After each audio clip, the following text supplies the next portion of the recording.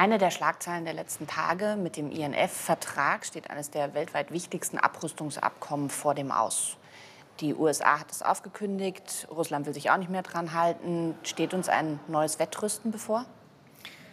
Ja, dieser INF-Vertrag, Intermediate Range Nuclear Forces, ist ein Vertrag zwischen USA und Russland, der landgestützte nukleare Mittelstreckenraketen verbietet.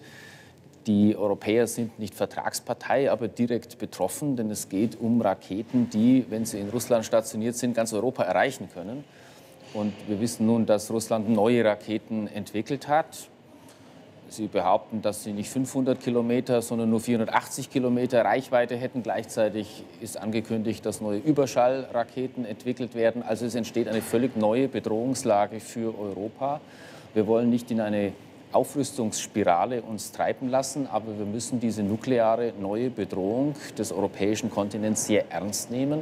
Und deswegen brauchen wir vertrauensbildende Maßnahmen. Wir müssen mit allen maßgeblichen Akteuren, das bezieht auch die Chinesen mit ein, darüber verhandeln, wie wir diese nukleare Bedrohung durch Mittelstreckenraketen weiter vermeiden können. Aber wir müssen als Europäer auch mehr für unseren eigenen Schutz tun. Und deswegen entwickelt beispielsweise die Bundeswehr ein taktisches Luftverteidigungssystem, das nicht nur für Deutschland, sondern für ganz Europa geeignet ist, diese Bedrohung durch Raketen abzuwehren.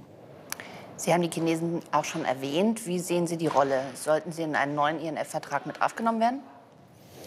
Ja, China sieht sich natürlich äh, als Vertragspartei zunächst nicht betroffen, aber auch China hat Mittelstreckenraketen in großem Umfang vorgehalten und deswegen müssen alle maßgeblichen Akteure an einen Tisch. Das kann auch unter der Ägide der Vereinten Nationen sein. Wir müssen aber natürlich auch zur Kenntnis nehmen, dass sowohl USA als auch Russland als auch China für sich in Anspruch nehmen, dass sie aus ihrer eigenen Machtposition heraus internationale Politik betreiben.